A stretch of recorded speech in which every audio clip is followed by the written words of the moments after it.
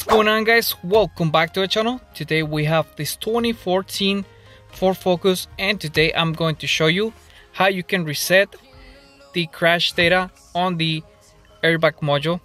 Um, if your car was in a crash or something, the module can be reset. Not all the modules can be reset, but this one in particular can be restored brand new again instead of buying an expensive one. And we're gonna be using the Autel IM608 to uh, reprogram the EEPROM here and also we're gonna use a different program to actually restore the data um, on this module. So on this car um, all the airbags were replaced and well the only thing we have to replace is this but uh, since I have the tool I'm gonna give it a shot and also uh, most people out there they want to learn how to restore these things to new. Like I said not all the modules can be restored but this one can be all right so let's go. Uh, the module on this one is gonna be located right here. It's actually hidden right here. You have to remove this cover right here. And well actually the um, the module is like tucked in right in there. It's held by probably I mean it's held by three uh, screws. I mean one screw and two nuts. So it's gonna be in there. Uh, both are 10 millimeter and it's really simple to remove you just have to remove this cover right here and it will come up uh, really simple. All right so i'm gonna take you to my bench and let's start disassembling this thing and i'm gonna walk you through um, for the steps that you're gonna need to uh, restore this thing brand new. All right let's go. All right guys so as you can see here we have the little box already here and well you have to do actually three steps in order to make this box clear from the crash data. So the first one is, well, we have to disassemble it. As you can see, I removed the screws and that way we can expose the EEPROM which is inside this box right here. So as you can see here, the EEPROM is usually located on this particular one right here. Uh, it has another one on the back, but that's not the one we need. It's actually this one and I'm gonna show you really quick here. This is gonna be the sec the second I mean the third step. Uh, I'm actually the second step. Uh, here we need to extract the information from the EEPROM which is stored in here because the crash data stores in the EEPROM and we need two programs in order to make this work.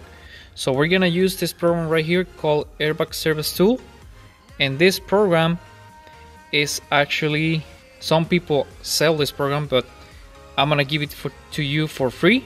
I'm gonna leave the link in the description so you can download this program for free because it should be free not uh, you don't have to pay anything for it because it's free. So as you can see here we have the part number 0285 this whole number. And you see here I already typed it in and it gave me this right here and actually gives me the EEPROM number too, which is the 95640. So with that information, I know what EEPROM I have in this little box for the airbag.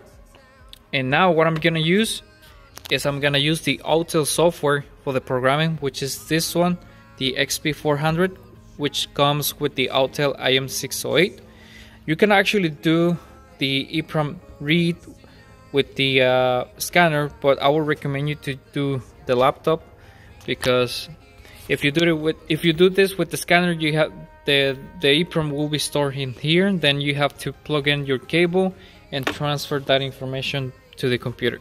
So it's just better use this tool and it will make things easier. So the EEPROM we're gonna need is 95640 which is which is an ST EEPROM.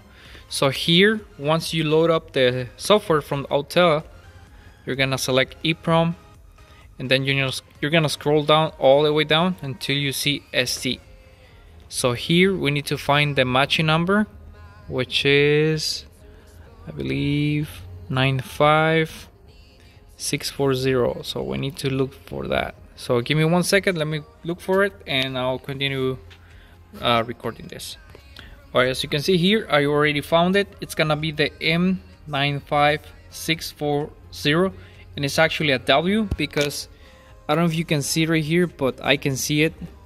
It has a W at the end. So we're gonna select the W this one. And once we selected that we're gonna press OK and it's gonna give you the actually the bits 8 by 8 8 kilobits by 8 times 8 so here as you can see we have FFFF which means empty. And now we need to read this. We're gonna plug in our little clamp right here. And this one has a guide. So the way to actually know instead of looking for the little point the red dot always faces the uh, the letters. If you see the letters like this you always face the uh, the red thingy up there. So if it's if the if the reading is backwards then just flip it. Or if it doesn't work just flip it and it, it will work. So we're gonna put this right here. I'm gonna put it right here. And actually I'm gonna do a reading but with both my hands because this thing doesn't clamp all the way. So I'm gonna put my reading here. I'm gonna upload it and once I read it I'll, I'll show you really quick. Alright guys so as you can see here I already did the reading of the EEPROM takes like a couple seconds. So once we have this information here we're gonna do a save as and we're gonna save it here. So as you can see I already have the other one which is says clear. So I'm gonna put this one here save it which I already did. Once this is saved we're gonna close this and then we're gonna open our special program which is this one. So once you selected the module that you want to um, uh, restore we're gonna select do it and it's gonna ask you to find the crash data EEPROM which is the one that you actually read first. We're gonna select that one we're gonna open it and then actually tells you if you wanna change the VIN number for car so if you don't want to change it just press ok. Once you press ok it will give you the clear uh, file here. So I already saved it. We're gonna save it. I'm gonna press cancel because I already did it. So once you have that data saved we're gonna open this program again. And now you're gonna open a new window right here. So we're gonna put this one select clear. We're gonna open it and here you have your data already clear. So as you can see here I'm gonna erase the other one which is already uh, that was the crash data. So once you're here what you're gonna do is you're gonna do this right. But you gotta connect the clamp right here. Once you do the write it will um, it should be in green which is successful. It says write fail right now because I don't have the clamp right here. But I already did it. And well actually I went to the car and everything's clear. So once I uh, I have done this already I'm gonna put this into the car and show you that everything's clear on the car alright so I'll be back. Uh, let me assemble this back and let's go to the car and check out if we have the data already clear from this module alright let's go. Alright guys so this module is already installed here as you can see so right now I'm gonna assemble everything back. I'm gonna connect the battery because every time you work on these things you have to disconnect the battery. Uh, just in case I have never had a problem but you never know. And well I actually disconnect always the battery uh, when I work on airbags because I don't wanna be hurt by one of them one of them exploding in my face. So I would advise you to disconnect the battery. Alright so I'm gonna connect it back and let's check it out if we have the airbag light clear or not. Let's go. Alright guys so the moment of truth is right here. I'm gonna open the switch and let's see if we have the light for the airbag gone. So as you can see it's right there. So usually when you turn on the, the ignition it lights up for about five seconds and then it turns off meaning that everything is checked and ready to go okay so let's open the switch right now. Airbag is on. And it should disappear right now. And there we go. So once we turn it on we should see this, the light and everything off. So as you can see here I don't have any messages for the airbags. Let me just scroll down see if we have any messages. Information. And let's see. And no messages anymore on this car. Only the fuel.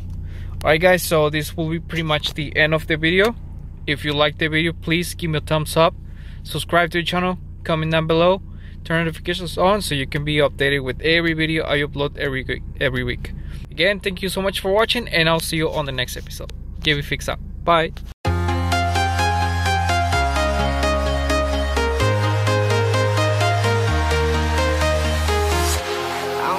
Walking alone, the streets are empty.